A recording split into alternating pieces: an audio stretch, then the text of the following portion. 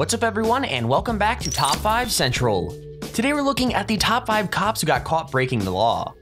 With that said, if you hate people who abuse their power like cops or maybe even teachers, leave a like on the video right now. Also, don't forget to subscribe to our channel and turn on the bell notification so you never miss another upload. But anyways, with out of the way, let's get right into it. Number 5.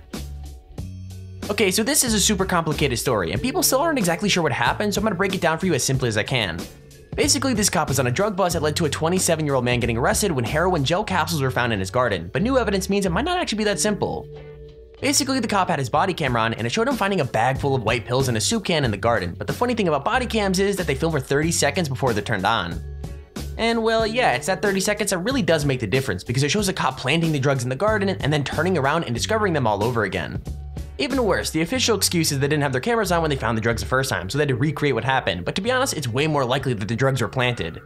Regardless, if that's true, then this is a major crime the cop committed, but thankfully it looks like the case will be sorted out pretty soon.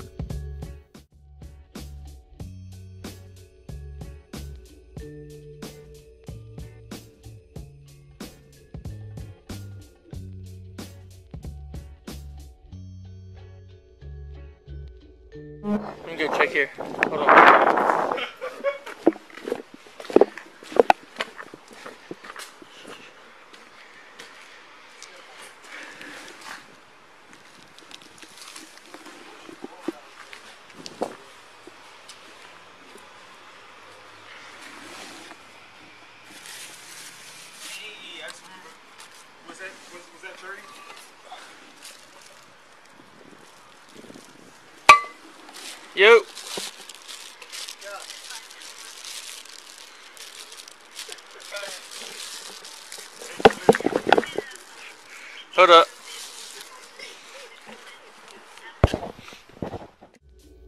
Number 4. Okay, nobody likes their stuff being messed with, but it's pretty obvious that even if you're a cop, you don't respond by putting someone in a chokehold. So to kind of give the quick backstory, this police officer discovered that his van was being repossessed, but instead of just accepting it or trying to talk to the man about what was going on, he thought that stopping him by putting an arm around his neck was the best way to go. Like, I'm not even joking, he kept him in a chokehold for 8 whole minutes, and his excuse is that the man shoved him, but his wife filmed the whole thing, and it's pretty obvious that's not true. Just wait though, because this is when the story gets funny, and you literally won't believe what happens. At this point in the video, a bunch of other cops show up to rescue the repo man, and the first cop isn't happy about it at all. Like he flat out refuses to be handcuffed and tells him to arrest the repo man instead, and then finally he tries to run away when he figures out that isn't gonna happen.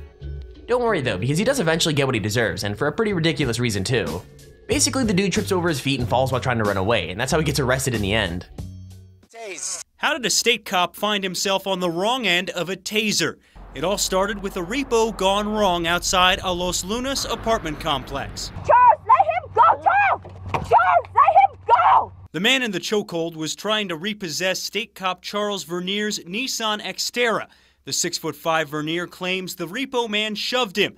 The repo man says he didn't. But cell video from the man's wife is indisputable. Charles, let him go! You're not taking my vehicle today. The chokehold lasts at least eight minutes and gets pretty strong at points. Yes, I'm restraining you because you assaulted me. Oh. And I am going to continue And to I'm- I'm a you until repossessor. police get here. But when Los Lunas police show up, it's Vernier who's in trouble. Step around the vehicle now. Handcuff him. Step around the Handcuff vehicle him now. Turn around. Turn around. Negative. All Turn around. Turn around. The state cop finally starts to listen, and then Put your hands on your head. No, I'm not being handcuffed today. Yes, you are. Turn around. he bolts before tripping over his own feet. Number 3. So going to court is supposed to be about fairness and justice, but what if they don't have the full story? I mean, if it wasn't for these cops being found out as liars, the man on trial's life could have worked out very differently, both because of the jail time and afterwards. Anyways, the quick version of the story is this man was on trial for trying to escape the cops, resisting arrest, and assaulting police officers, and the video the cops had backed some of that up. With that said, another cop car pulled up and filmed the whole thing from the opposite angle, and from there things looked a lot different. For a start, another cop car crashed into his car, throwing broken glass all over his face, and he keeps his hands up the whole time. The video then also showed the cops punching him over and over again for no reason, as well as proving he never tried to steal their guns. Now, the cops said they never did anything wrong, but as soon as the court saw the video, they released the guy without any charges, which is really good. With that said, I'm glad there was a happy ending, but it's kind of scary to think about how different it would be if the attorney hadn't believed the guy's version of events and gone looking for the evidence. This is the Bloomfield Police Department's dashcam video that prosecutors say they never saw when they pursued criminal charges against 30 year old Marcus Jeter. Notice his hands in the air. He was charged with eluding police, resisting arrest, and assault. And also notice who throws repeated punches. If the tape hadn't surfaced, I was going to be doing jail. I think that The tape. incident. If we hadn't had the tapes in this particular case, an innocent man would be in jail today. I'm sure that if this happened to me, it could happen to a bunch of other people. You know, scary, right? it's a scary situation. And we were there exclusively today in Essex County Court in Newark, where Bloomfield police officers Sean Courter, there on the left, and Orlando Trinidad, who you will see here on the right, were arraigned on charges including conspiracy, official misconduct, and falsifying reports. Number 2. Now, this is one of those times where both people are kind of in the wrong, so it's up to you to decide whether or not the cops did the right thing. Basically, this cop was flying down a 60 mile an hour road doing 85, which is totally illegal, right? Like, they had no lights or sirens on, so it didn't look like they were chasing anybody down, and the cop was in plain clothes too, so he probably might not have been on duty. Anyways, I think this has all happened to us at least once, which is fine, but this next part is where things get messy, because another driver decided to film the cop going that fast and then overtook him.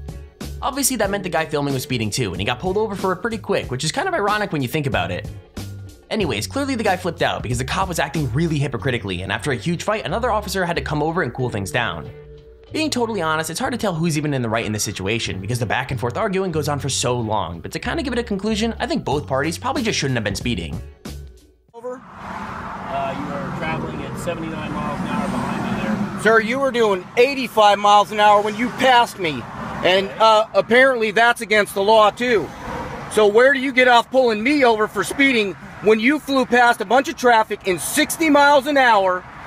No lights, no lights, no siren. car up in front of me. Listen, that's bullshit. No, listen, need to see it. and that's bullshit. You put lives in danger when you do that.